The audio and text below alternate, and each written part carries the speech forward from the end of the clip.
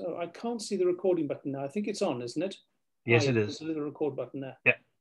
So uh, here you go, Paul. I'm going to show you this little presentation that I've just done uh, now. It's essentially, as I said, it's a it's an it's an audit of all the NHS choose and book patients that I see uh, who are um, coming to me, the uninsured patients, which is about a fifth of all my patients. Um, and my son's put this amazing bit of software together, which shows me um, uh, on word searches uh, the demographics of my patients, basically. And I haven't been able to do that before now, but I, I've basically been able to search for these keywords by diagnosis, for example, tendon, arthritis, carpal tunnel, and by instrument for guitar, piano, violin.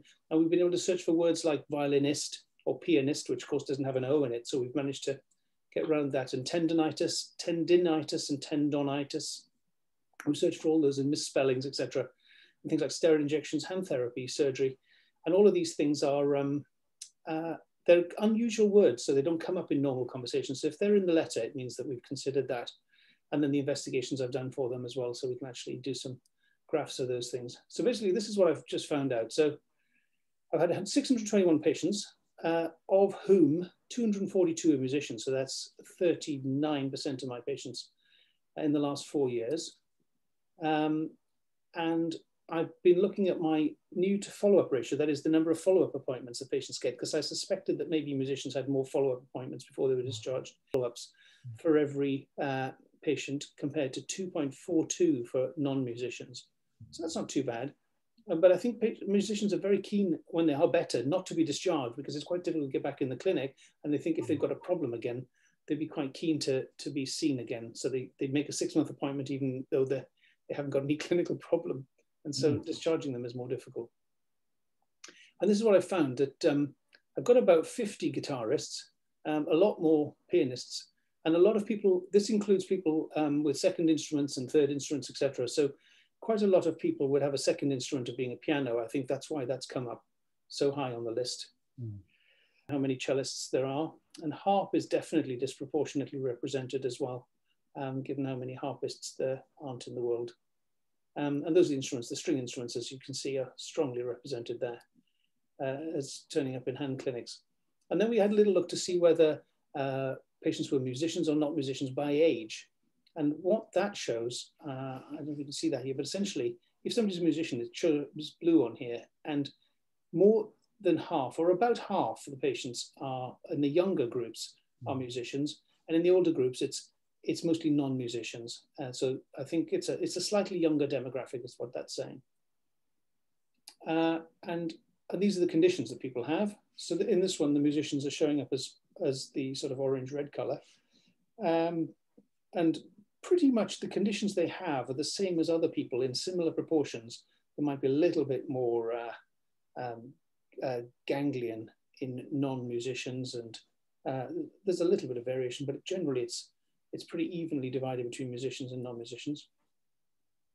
The tests that I do, nerve conduction studies, MRI and ultrasound, I've done lots of those and fairly evenly spread between the musicians and the non-musicians. And these are the treatment pathways, largely steroids and hand therapy. And again, even proportions between musicians and non-musicians. Decompression procedures for tendons, trigger finger, and carpal tunnels and things like that. And general anesthetics and local anesthetics uh, represent neck, elbow. Again, all fairly evenly distributed between musicians and non-musicians.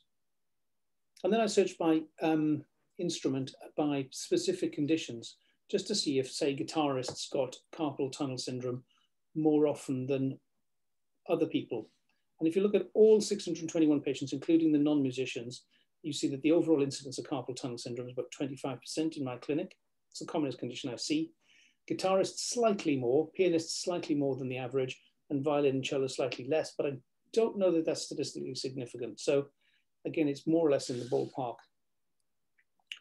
Arthritis, I thought would be interesting to see whether guitarists got arthritis in uh, greater numbers or pianists got arthritis greater than others. And overall, I'm 7% of my patients, 7 to 8% of my patients having arthritis mentioned in their letter.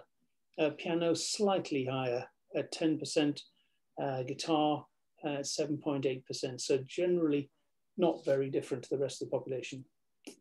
The word tendon uh, being mentioned again, around 50% of our letters contain, contain the word tendon, and it's not much higher in guitarists or pianists.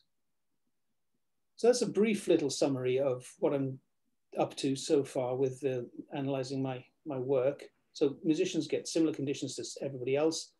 But what I do find in clinic is that actually it affects them much more adversely, even with milder forms of each of those conditions.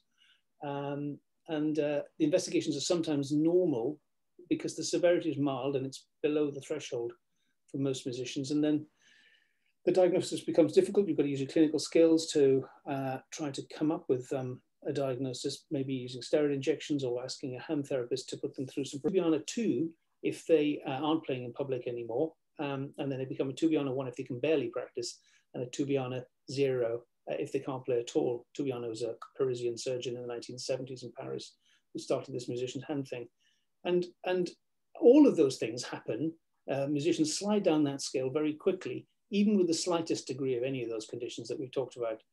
Um, yeah, so um, it's, um, and, then, and then of course, to make them better, you've got to be very gentle with it because often it isn't a very bad degree of the disease process.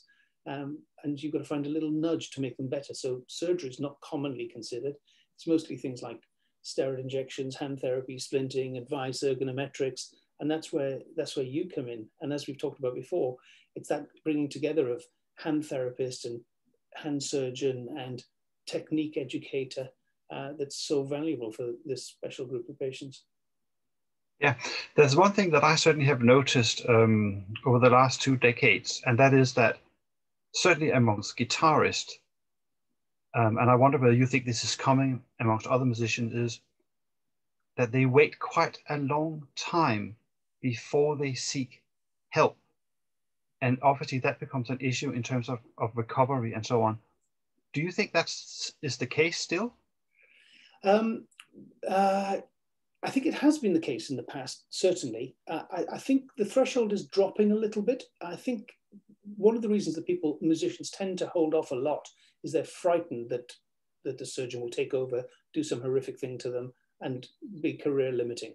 Uh, and and that fear has been uh, addressed a little bit by a BAPAM, who are often the first point of contact, being reassuring, and then letting them know that basically people like me and you and uh, hand therapists uh, are now familiar with the conditions that they have and find fairly harmless ways of making them better.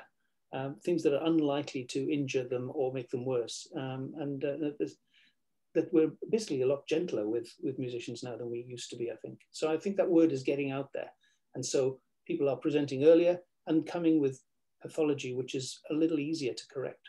I'd say that's mm. true.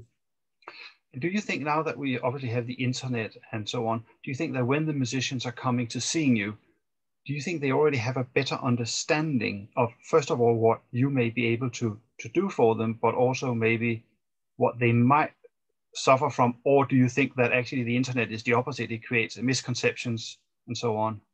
Uh, I, the patients have often Googled stuff.